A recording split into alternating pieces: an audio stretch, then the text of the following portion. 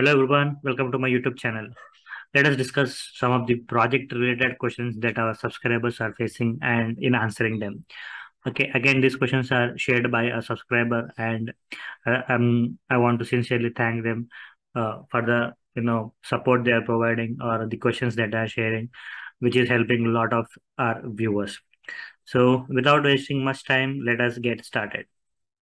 So while I share my text file, if you are new to my channel, please do subscribe, please do share, and please do like.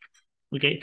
So this was the first question that was asked to him. I think you know he was like little skeptical how to answer. I think many of us have faced this kind of questions.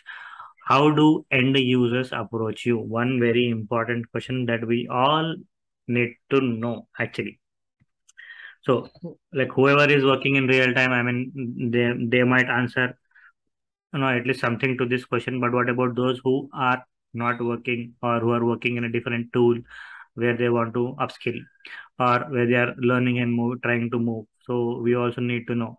So first is end users might approach you with a requirement, same like this, or they might share you, uh, like they will tell you, okay, uh, Hari, please, you know, do this.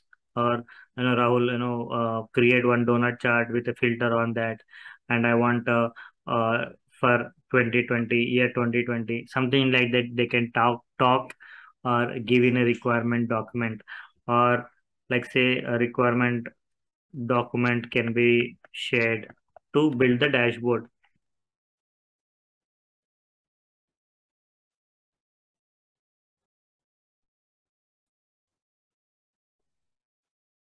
for the dash dashboard. Or sometimes user can also reach you with a specific problem. Like say uh, you know rahul my dashboard filtering is not working or i'm seeing some additional values uh, extra values or something extra they are seeing in the report which is not expected or the color some they are seeing some extra colors on the dashboard or there is a misalignment. So all of these issues can pop up and end user might reach you. So why they will reach you? Because you are the owner of that dashboard or you are the person who has published that dashboard or you are the person who is taking care of that dashboard. So they might use uh, they might reach you to either solve an existing problem or they might reach you with an ad hoc request. So these are the some of the things that we can answer for this question. Very important, you know, point to you know remember. Okay. So if you are not writing it down, write down this question in somewhere in your diary so that whenever this question comes up, you can answer. Now let us move on to uh, the second important question that is that has been asked. What is your pipeline with clients? So I think here the interviewer is trying to ask like, you know, how do you interact with the client? You know, how is the communication channel? You know, is like, you know, are you directly interacting?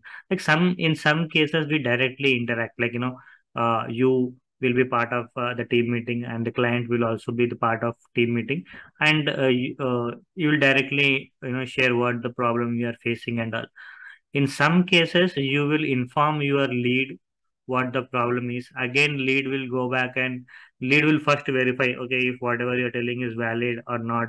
Uh, is there issue from your end or it is the uh, issue from you know uh, someone else and uh, and if if it has if it is necessary to be taken to client then only that will be taken to client and that will be discussed. It is like that. So this is the communication channel that is being established. So like you know for not all the cases you can directly reach out to client you have to first see if you can solve that issue without reaching to the client in in cases where you cannot solve or where you need client's interruption only in that cases you will reach out to client so that is the pipeline we can talk about here. Okay. How do you establish a communication here? So next important uh, thing that was asked is once you complete your dashboard, what is the next step? Again, I think this uh, is something that many of us have in our mind. What do we do once we develop the dashboard? Okay. So first thing that I always do is a testing. Okay. Second is uh, create a test case document. Okay, after that, end users will test or I will write like QA testing. Okay, and then migration. So this, this will be the general process that can be followed once you build your dashboard. So you have to do complete you know sample testing you have to do you have to verify the data and then you have to create a documentation on top of that and then qa team will test your report and then when they sign off you have to migrate okay so next is again related to the above point only. So once you are done with the once you done with your dashboard who will move it to production? Again this question i think many of us have in our mind like who will do migration uh, whether we do or someone else will take care and all. Uh, so for most of the cases the one who develops report will move it to production simple. Or different environments. Okay again it is like company to company basis or it, it depends from project to project. In some cases there will be a separate team who will take care of migration like you will raise a request or uh, you know different companies follow different you know uh, structure in migrating uh, right okay. So you have to remember. So, but most of the cases the common uh, procedure we follow is uh, developers who develop reports will have permissions to move it to different environments like from development to qa and qa to uh, prod like this okay. So simply you will move. Once the report is asked to move not like you know you're moving it on your own. No. You need to get the proper approvals. Always make sure whenever you are moving to production you are having proper approvals. Otherwise they'll screw you without any you know confirmation you are moving to product. Production means no one will you know you'll get escalation. So you will need to make sure you have all the approvals or permissions to move report to production. So specifically, I'm talking about production here. Other environments, it's okay, like, you know, fine. Even if you do, you can delete it, but production, you cannot directly, simply, you cannot move it anything to that because it is a production system. Okay. Next is how do you know how to publish? Sorry, do you know how to publish the dashboard into server? Okay, either you can simply tell as yes, or you can answer the steps like log into the server and click on publish like that. So if I go here, click on server, and first you need to sign into the server that you need to publish the report, and then you can click on publish workbook, and then select the path that you need or the folder that you want to publish workbook, and click on workbook. So you can always talk about those steps here in this. So pretty easy question. I think we should be able to answer this one. Next is how do you set extract refresh or refresh extract for published workbooks? I think, yeah, scheduling extract. So if you have the privileges at a server level, you might have the option to schedule a report. Uh, I think I'll, I'll paste the link for this uh, in the description box. Please make sure you watch that. Okay, so we already have this in our channel. Okay, so like what kind of sources do you connect in extract? So sources is like, you know, whenever we connect to any data source and we convert it into extract. So it is mostly of tabular format. So I'm not sure, you know, what uh, the subscriber was really asked here. Next is end-to-end -end process from SQL Server to publish workbook. So like here, uh, I think the interviewer wants to know how do you, so first is writing SQL. Okay and validating that in your SQL workbench. In your SQL workbench, if it is working fine or not. Then coming to Tableau and you know creating custom SQL and pasting it there, comma validating if the query is working or not. That is the second step that we do.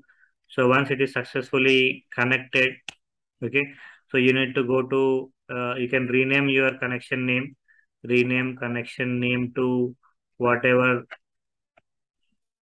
the name you want to, so that you can identify it. Next to that is after that you can uh, apply any filters if required or do some data cleansing if required or derive some fields if required. Again all of this is optional but still i'm still i'm telling you derive some fields. Okay. So once all of this is done you can probably click on create a new sheet option and from here your development activity will start. Okay? So once you develop sheets like multiple sheets and then putting them into create a dashboard i'm writing. Okay? Create new dashboard according to client requirement. So once that is done again testing. Okay? And then migrating and then 10th is supporting So you can talk about this 10 steps whenever you are uh, telling about the end-to-end -end process of this. Okay, so end-to-end -end process from SQL Server to publish workbooks. Okay, so migration means like moving to different environments. So to move means to publish only. Okay, and then after moving to production environment, you need to support for a few days because the production users might not know what you have done. So until and unless it becomes stable in the environment, you need to hold their hands and tell them, Ki boss, everything is working fine like that. So once they feel comfortable, okay, you can move on to next. Okay. So next question is, have you, you have developed some SQL query, you need to put that SQL query in Tableau to fetch the information from Tableau. How do you do that? Okay. So we might need to customize it according to our requirement. Okay, what is the order of operation in Tableau? I think the filter of of execution we all know. If not, I'll you know give a document you can definitely refer to. Next is when you when do you consider taking having clause in your SQL script? Okay, so SQL having clause is used always with your aggregation. Okay, so remember that. Okay, I think these were the questions that were asked. And that's it from my side in this video. I hope you like it. If you like it, please like, share, and subscribe. Thank you. Have a good day. Bye-bye.